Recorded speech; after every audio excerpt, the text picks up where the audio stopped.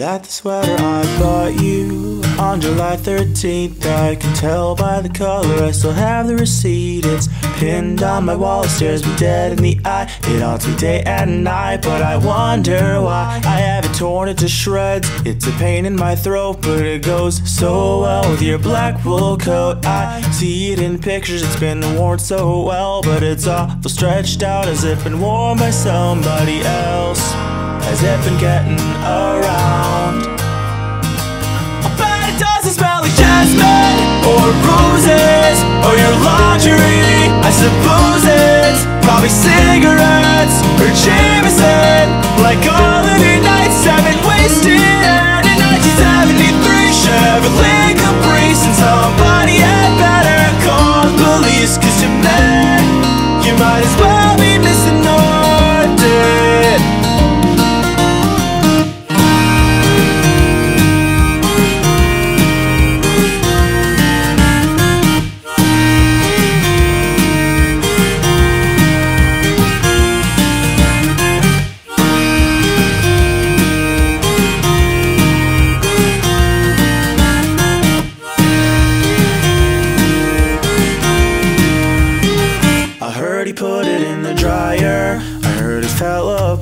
threads came undone. It's not too hard to read a three inch tag that sticks out from the back. I don't blame you, cause he always lacks the brain cells and the capacity to follow any direction. It's an atrocity. The way he treated my sweater, it came from the soul. But everything gets worn, everything eventually gets old. How do you plan to fight the cold?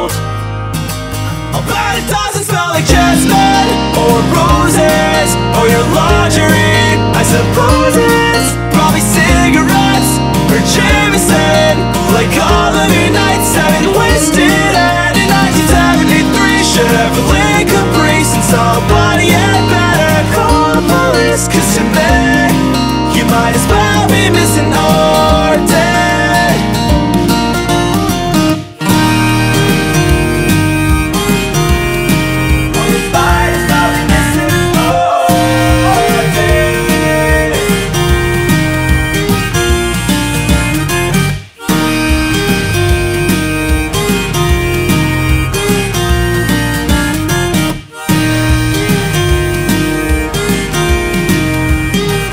to be the nicest blend of black and white, but now it's all just gray. All the tiny little colors have worn away. I hope you wore it to pieces and it didn't just fade away.